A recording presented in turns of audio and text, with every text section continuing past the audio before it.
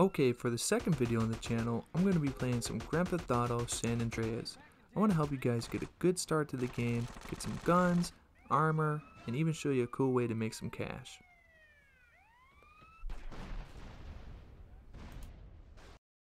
So right after you beat the first mission, you're going to end up here at the Johnson house. We're in here at the cul-de-sac, as you can see. We're right up front of the house. What you're going to want to do is go back this way behind this house here. Run past a palm tree. And right in the back corner you're going to find the pistol. Now take your newfound pistol and follow this fence line all the way back. Now you're going to jump over this car here and there's going to be an opening. Go ahead, take the opening and go down. And you'll find the Uzi. So turn around, run down this little slant here. Keep running till you make it to this bridge. Look underneath. And you're going to find body armor. We'll pick that up. Okay, so now that we got that armor, we're going to run up this hill here. We're going to go back through the opening we came through. This is going to go around the other side of this blue house. And what we're going to do is jump up onto that ledge. It might take a couple tries. Alright, there it is. And climb up. And we're going to get to that ledge over there. Just jump across. Once you make it up here, you're going to find the Tec-9. You can swap it out with your Uzis, and you gain a little more ammo. And just jump off. Alright, now that we have some guns, I'll show you an easy way to make some cash.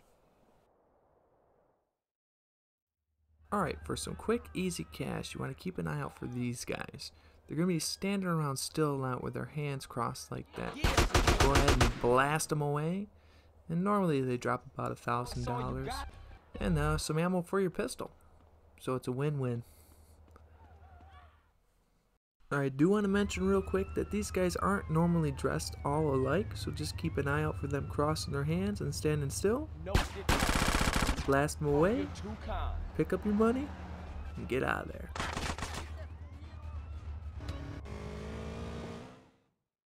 Okay, for this next spot, we're going to be getting the AK-47. You want to look out for this burger joint right here. It's going to be right behind this building next to it.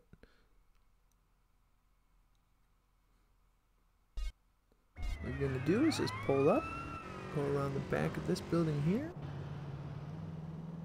and there it is.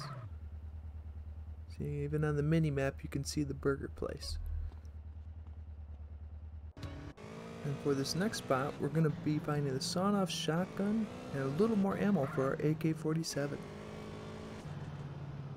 Okay, so this next location isn't far at all from where we just were.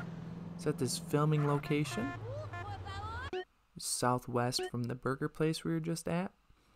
And you're going to see Cluckin' Bell right there. You're going to want to go in the eastern side entrance. Zoom out so you can get a reference of where it's at. Okay, go ahead and head inside. Go to the back right corner. And this last filming location in here. We're to get a little more ammo for our AK-47.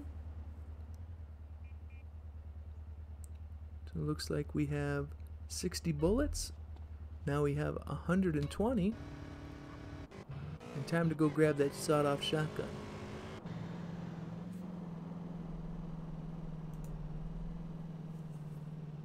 It's actually right here in the same exact spot. Go ahead and pick it up.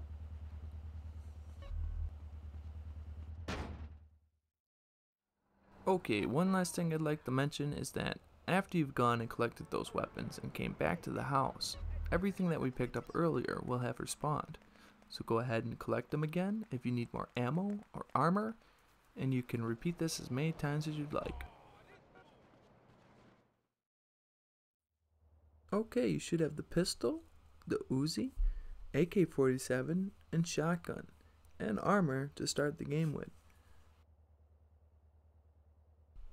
Now get out there and take back Grove Street.